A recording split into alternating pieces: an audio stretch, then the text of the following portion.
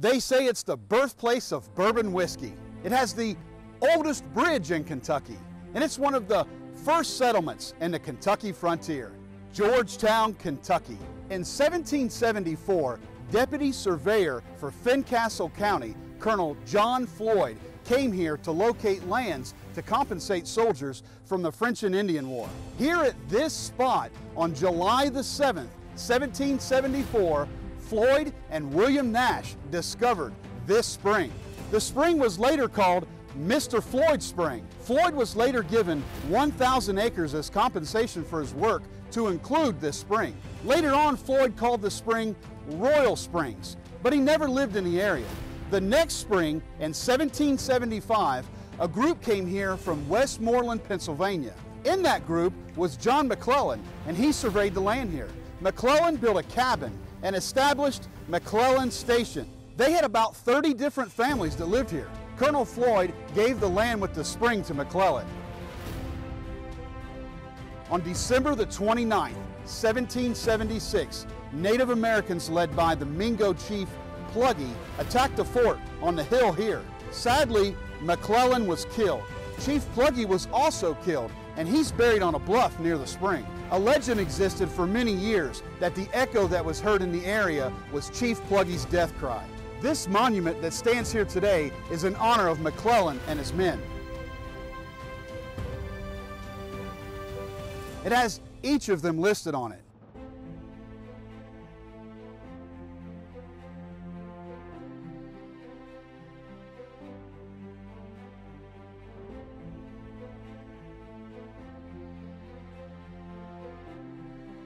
It also lists Revolutionary War veterans that are buried in Scott County.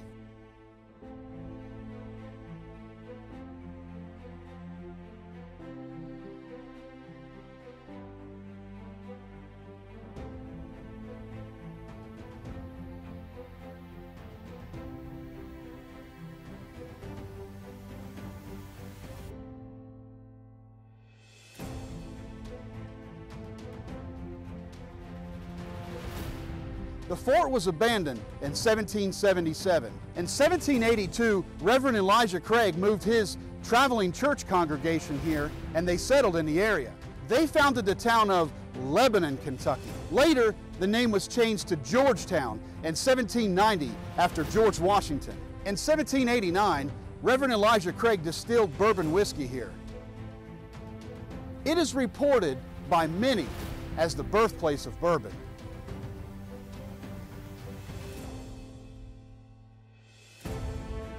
Many say that Craig was the first to char the barrels for corn liquor that gives bourbon its distinct flavor and color. It must be noted, though, that some say that that story is a legend. And there's folks over in Bourbon County, Kentucky that say the birthplace of bourbon is there. Elijah Craig also established the first fulling mill and paper mill west of the Allegheny Mountains. Craig also funded a school called the Rittenhouse Academy, which eventually became Georgetown College. Georgetown College is still here, just about a mile from where we're at. The bridge here was built around 1800 by Elijah Craig and is said to be the oldest bridge in Kentucky.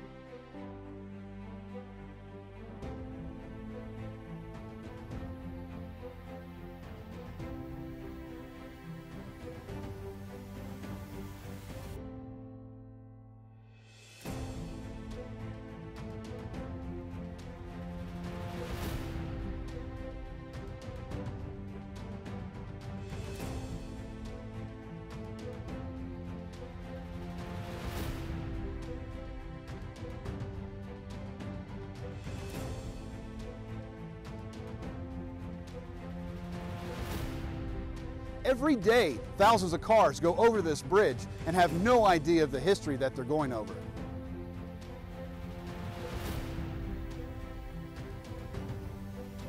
The site here also has the old jail, which was in use from 1892 to 1991.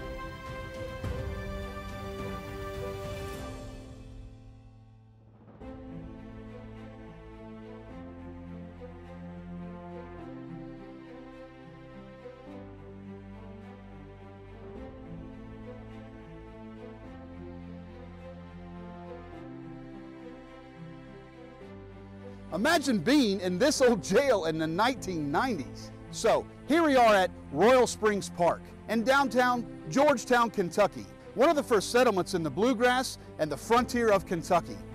And remember, Family Tree Nuts, let our nuts find the nuts in your family tree.